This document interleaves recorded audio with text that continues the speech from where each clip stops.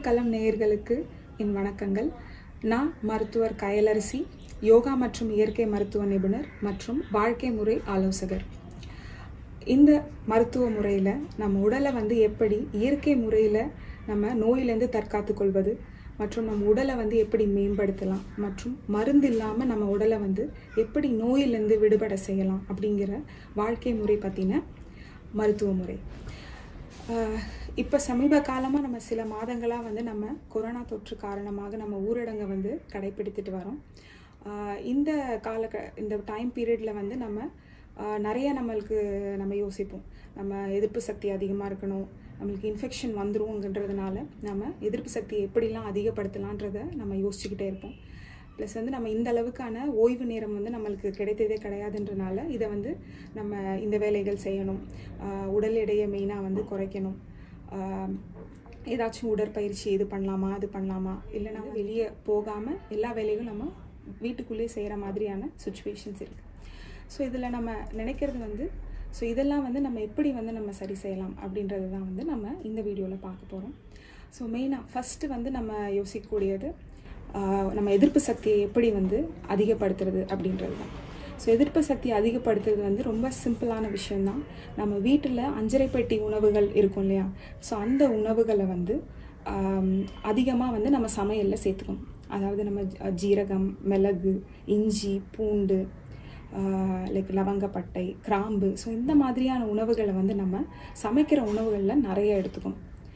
So அது வந்து அது இல்லாமல் வந்து விட்டமின் சி நம்ம நம்ம இம்யூன் செல்ஸை வந்து அதிகப்படுத்துறதுக்கான முக்கியமான ஒரு நியூட்ரியண்ட் ஸோ அதை வந்து அதிகப்படுத்துறதுக்கு நம்ம எலுமிச்சை சாறு ஆரஞ்சு சாறு இல்லைன்னா அதை ஆரஞ்சு பழமாக கூட எடுத்துக்கலாம். நெல்லிக்காய் சாறு இல்லை பழம் ஸோ இதை வந்து தினமும் நம்ம எடுத்துக்கணும். ஸோ இந்த உணவுகள் நம்ம அதிகமாக எடுத்துக்கிட்டாலே வந்து நம்ம எதிர்ப்பு சக்தியை அதிகப்படுத்த முடியும். ஸோ இந்த அஞ்சரைப்பட்டி உணவுகள் நான் சொன்ன இஞ்சி பூண்டு மிளகு இது எல்லாத்தையும் துளசியோடு சேர்த்து நல்லா சுடு தண்ணியில் நல்லா காய்ச்சி அதை வந்து நம்ம தினமும் வந்து காலையில் வந்து குடித்தோம் அப்படின்னா ஸோ அதில் கொஞ்சம் தேன் இல்லைன்னா வந்து இனிப்புக்காக தேன் இல்லை நாட்டு சர்க்கரை கலந்துக்கலாம். அதை நம்ம தினமும் குடித்தா அது நம்ம எதிர்ப்பு சக்தியை பல மடங்கு வந்து அதிகரிக்கக்கூடியது. ஸோ இந்த மாதிரி உணவுகள் நம்ம எடுத்துக்கிறதுனால நம்ம எளிய உணவுகள் நம்ம எடுத்துக்கிறதுனால நம்ம அதிகமான நம்ம எதிர்ப்பு சக்தியை அதிகப்படுத்தலாம். இது இல்லாமல் அடுத்த விஷயம் உணவுகள். எப்படி அதை சாப்பிட்றது? நம்ம வெயிட் குறையுமா குறையாதா? ஸோ நம்ம வேலைகளும் வந்து வீட்டிலே செய்கிறதுனால வந்து நம்ம நார்மலாக சாப்பிடக்கூடிய அதே உணவு அளவை நம்ம இப்போ சாப்பிட்டோம்னா நம்ம உடல் எடை வந்து கண்டிப்பாக அதிகரிக்கும். ஸோ அதனால் நம்ம உணவோட அளவை வந்து பாதியாக வந்து நம்ம குறைக்கணும். ஸோ ஒரு நாளைக்கு வந்து நீங்கள் நாலு இட்லி அஞ்சு இட்லி அந்த மாதிரி காலையில் சாப்பிட்றீங்கன்னா அதை ரெண்டு இட்லியாக வந்து நம்ம குறைக்கணும். எந்த அளவுக்கு மதிய உணவு எவ்வளோ எடுத்துக்கிறீங்களோ அதுலேருந்து பாதியாக வந்து நம்ம உணவை வந்து குறைக்கணும். ஸோ அடுத்தது வந்து உணவுகளை சரியாக தேர்ந்தெடுக்கிறது. ஸோ நம்ம மெ மெயினாக நார்மலான அரிசி அதிகமாக அரிசி மைதா சர்க்கரை உப்பு பால். ஸோ இந்த மாதிரியான பொருட்கள் தான் வந்து நம்ம உணவில் அதிகமாக இருக்கிறதுனால நம்ம உடல் எடை வந்து அதிகமாயிட்டு இருக்கு ஸோ இது இல்லாமல் அதிகமான எண்ணெய் பொருட்கள் நம்ம சேர்த்துக்கிறதுனாலையும் வந்து உடல் எடை வந்து அதிகமாகிட்டு இருக்குது ஸோ இதை வந்து கட்டுப்படுத்துறதுக்காக நம்ம சிறந்த ம உணவுகளை வந்து சரியான இதுக்கு தேர்ந்தெடுத்து நம்ம சப்ஸ்டியூட் பண்ணிக்கணும். ஸோ அதாவது நம்ம நார்மல் அரிசி உபயோகிக்கிறதுக்கு பதிலாக நம்ம வந்து சிறுதானியங்கள் எடுத்துக்கலாம். அது இல்லாமல் சிகப்பரிசி கருப்பரிசி கைக்குத்தல் அரிசி. இந்த மாதிரி இந்த மாதிரி அரிசிகள் நம்ம எடுக்கிறதுனால நிறைய ஊட்டச்சத்து நம்மளுக்கு கிடைக்கும். ப்ளஸ் கம்மியான அளவும் வந்து நம்ம உணவுகளை எடுத்துப்போம். சர்க்கரை அந்த மாதிரி எடுக்கிறது பதிலாக தேன் இல்லை நாட்டு சர்க்கரை அதை வந்து நம்ம உணவில் வந்து சேர்த்துக்கலாம். உப்பு எப்போவுமே வந்து கம்மியான அளவு தான் நம்ம பயன்படுத்தணும். மைதா பொருட்கள் முழுதும் வந்து அவாய்ட் பண்ணுறது பெஸ்ட் ஸோ இந்த மாதிரி சரியான உணவுகளை வந்து நம்ம தேர்ந்தெடுத்து அதன்படி வந்து நம்ம சாப்பிடணும். ஸோ அடுத்தது ஒரு வேளை வாரத்தில் வந்து ஒரு நாள் வந்து ஒரு நாள் முழுதும் வந்து நம்ம ஃபாஸ்டிங் அப்படின்னு சொல்லக்கூடிய நோன்பு வந்து நம்ம இருக்கணும். ஸோ அன்றைக்கி வந்து நம்ம எதுவுமே சாப்பிடக்கூடாது அப்படின்னு கிடையாது. பழ சாறுகள் அதாவது ஜூஸஸ் எடுத்துக்கலாம். ஃப்ரூட் ஜூஸ் இல்லை வெஜிடபிள் ஜூஸ் அந்த மாதிரி எடுத்துக்கலாம். இல்லைனா வெறும் ஃப்ரூட்ஸ் மட்டும். ஃப்ரூட்ஸ் ஆர் வெஜிடபிள்ஸ் ஸோ அந்த மாதிரி ராவாக வந்து சாலட்ஸ் மாதிரி பண்ணி நம்ம சாப்பிட்லாம்.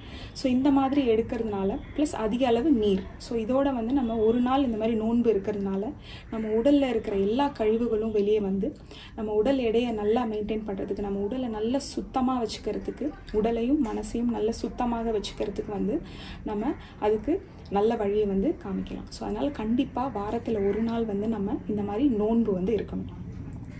ப்ளஸ் அடுத்தது முக்கியமான உடல் எடை உங்களுக்கு உடனே குறையணும் அப்படின்னா முக்கியமான ஒரு விஷயம் இரவு உணவை வந்து குறைக்கிறது. ஸோ இரவு உணவு வந்து நீங்கள் எப்போவுமே எடுக்கிறது வந்து எவ்வளோ லைட்டாக லேசானதாக நம்ம சாப்பிட முடியுமோ அந்த அளவுக்கு லேசானதாக வந்து நம்ம எடுத்துக்கணும். முக்கியமாக வந்து உங்களுக்கு அவ்வளோ பசி இல்லை அப்படின்னா நீங்கள் கண்டிப்பாக வந்து வெறும் பழங்கள் மட்டும் எடுத்தீங்கனாலே உங்களுக்கு நல்ல உடல் எடை ஒரு ஒரு வார கால் காலத்திலே வந்து உங்களுக்கு நல்ல உடல் எடை மாற்றம் வந்து உங்களுக்கு தெரியும். கண்டிப்பாக இரவு உணவு வந்து பழங்கள் மட்டும் எடுத்துக்கிறது ரொம்ப ரொம்ப நல்லது. அதாவது மூணு வேளை உணவில் ஒரு வேளை மட்டும் வந்து நம்ம சமைக்காத உணவாக வந்து நம்ம எடுத்துக்கிறோம். ஸோ அதில் சமைக்காத உணவில் தான் வந்து நம்மளுக்கு ஊட்டச்சத்து வந்து அதிகமான அளவு இருக்குது அண்ட் காய்கறிகள் பழங்கள் அதிகமாக சேர்க்கறதுனால நம்மளுக்கு அதில் தான் வந்து மெயினான நிறைய சத்துக்கள் வந்து நம்மளுக்கு உடலுக்கு கிடைக்கிது. ஸோ அதனால நம்ம எதிர்ப்பு சக்தி அதிகமாக இருக்கும். உடல் எடையை நல்லா மெயின்டைன் பண்ணலாம். கொழுப்புகளை வந்து குறைக்கலாம். சரிங்களா? கொழுப்பு குறைக்கலாம் சுகர் லெவல் அதிகமாகாது. ஸோ எந்த நோயும் இல்லாமல் வந்து நம்ம தா காத்துக்கொள்றதுக்கு வந்து இது சிறந்த ஒரு டிப் அதாவது இரவு உணவு வந்து ஒரு வேளை இரவு உணவு வந்து நம்ம எப்படி சாப்பிடணும்? ராவாக சாப்பிடணும். அதாவது சமைக்காத உணவாக வந்து இந்த மாதிரி சாலட் ஃப்ரூட் சாலட் இல்லை வெஜ் சாலட் அந்த மாதிரி வந்து நம்ம எடுத்துக்கணும். அடுத்தது மூணாவது நீர். எந்த அளவுக்கு வந்து நம்ம தண்ணியோட அளவை வந்து எவ்வளோ எடுத்துக்கிறோம் அப்படின்றது ரொம்ப ரொம்ப முக்கியம்.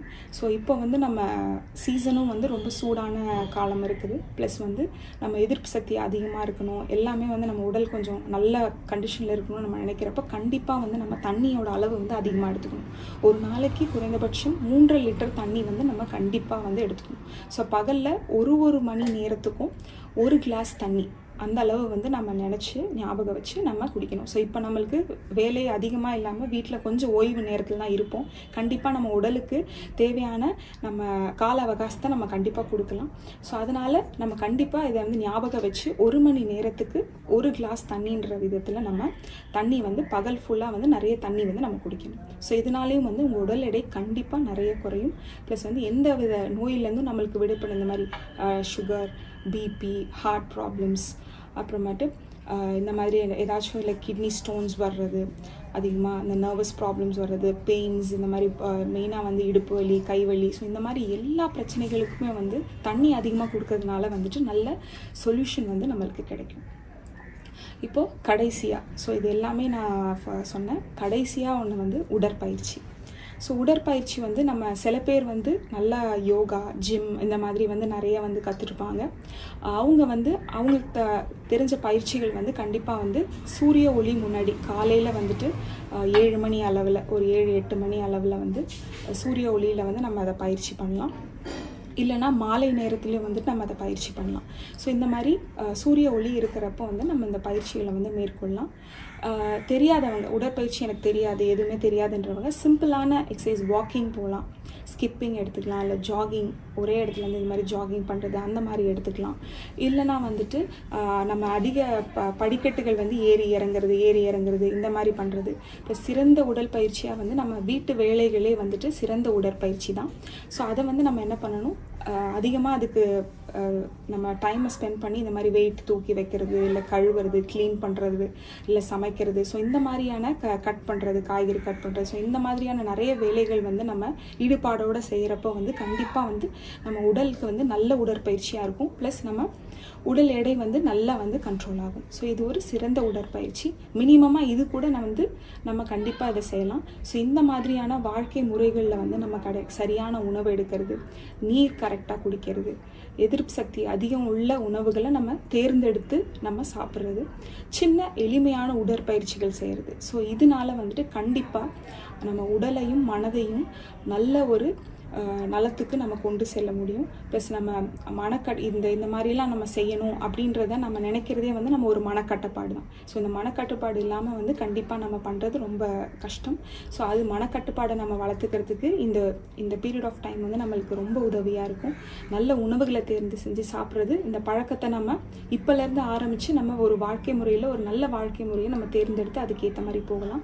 ஸோ இப்போ தான் இந்த நோய் தொற்று இருக்கிறதுனால தான் இந்த மாதிரி நம்ம எதிர்ப்பு சக்தியை அதிகப்படுத்தணும் அப்படி இப்படின்றதெல்லாம் இப்போ தான் நம்மளுக்கு அவேர்னஸ் வருது. பட் நம்ம உடலை ஜென்ரலாகவே வந்து நம்ம நல்ல ஹெல்த்தியான உணவுகள் எதிர்ப்பு சக்தி அதிகமாக இருக்க உணவுகள் தான் வந்து நம்ம எப்போவுமே எடுக்கணும். எப்போவுமே நிறைய பழங்கள் காய்கறி கீரைகள் இது எல்லாத்துலேயுமே வந்து நம்ம எதிர்ப்பு சக்தியை அதிகப்படுத்தக்கூடிய எல்லா சத்துகளும் வந்து நம்மளுக்கு இருக்குது ஸோ அதை வந்து நம்ம கண்டிப்பாக நம்ம அதிகமாக எடுத்துக்கணும்.